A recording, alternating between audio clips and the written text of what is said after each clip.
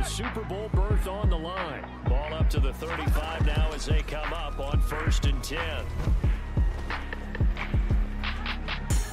And this is caught and out of bounds all the way down at the three. But big plays have been a hallmark of this offense all season, so there was no